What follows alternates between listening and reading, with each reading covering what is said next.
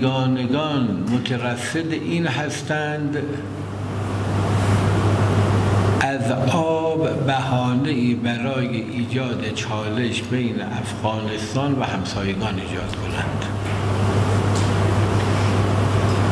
در این کنفرانس مطبوعاتی من به این یک جمله بسنده می کنم اما بعدا تفاصیلش رو خواهم گفت. اما در مسئله آب هیرمند که حقابه جمهوری اسلامی در چارچوب معاهده امضا شده سال 1351 هجری شمسی است. حکومت سرپرستی در کابل به ما بر این که معاهده را قبول داریم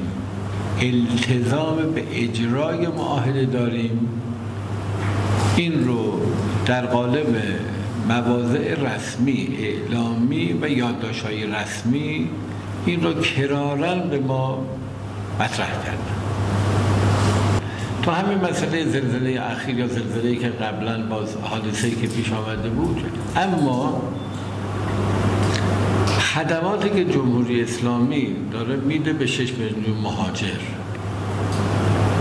این اگه بخوایم عدد رقم کنیم واقعا عدد رقم بالایی است.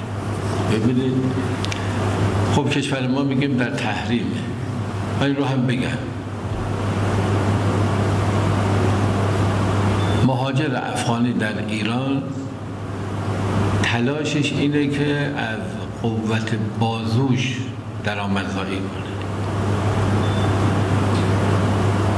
امروز نقش نیروی کار افغانی در اقتصاد ایران مثبت است. بزرگی که در روز گذشته در غرب افغانستان در حوالی شهر باستانی و فرهنگی هرات اتفاق افتاد و باعث از دست رفتن تعداد قابل توجهی از مردم مؤمن و مقاوم افغانستان و مجروح و زخمی شدن تعداد زیادی و خرابی و بیخانمانی این مردم منطقه شد این مراتب تسلیت و تعذیت رو ابراز دارد. به مردم مؤمن و انقلابی افغانستان به مردم مسلمان قیور و به دولت مردان این کشور و از خداوند می‌خواهیم هم شادی روح آن گذشتگان و صبر و صبوری بازماندگان و داغداران رو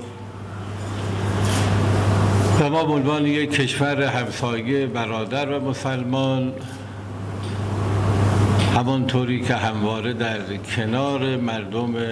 خوب افغانستان بودیم عنوان دو کشور همسایه و مسلمان و برادر امروز هم در این غم عزما خودمون رو شریک می‌دونیم و در کمک رسانی برای این مردم و در این منطقه آمادگی خودمون رو از همون ابتدای شنیدن این حادثه و خبر به مقامات هم مرکزی در کابل و هم به مسئولین محلی در ولایت هرات اعلام کردیم. از همون روز گذشته کمک های انسان دوستانه را آماده شد. تماس هایی که با دستگاه های خدمات رسانی کشورمون به ویژه هلال احمر جمهوری اسلامی ایران کمیته امداد و دستگاه های دیگر دستگاه هایی که در بروز این گونه حوادث و بلایا میان و خدمات اجتماعی رو میدن. به اون دستگاه ها هم اعلام شد و اونها هم آمادگیش هاشون رو اعلام داشتند و کمک هاشون رو آماده کردند. و ما از امروز تقریبا ظهر شروع کردیم به ارسال کمک ها به داخل.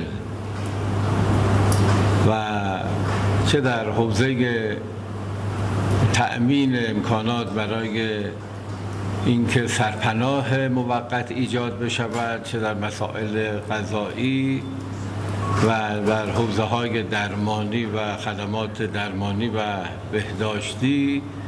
و یک موضوع مهم در مسئله ردیابی برای نجات اون عزیزانی که همچنان در زیر آوارها به جا ماندند. این یکی از اقدامات اولیه بود که تیم‌های امدادرسان رو با سگهایی که زنده یابند. اینا رو همون دیشب در تماسی که با هلال احمر و دیگران گرفته شد از استانهای مختلف این تیم ها رو آماده کردن که اینها از مرز دو قانون وارد اسلام قلعه و بیان به این مناطقی که ما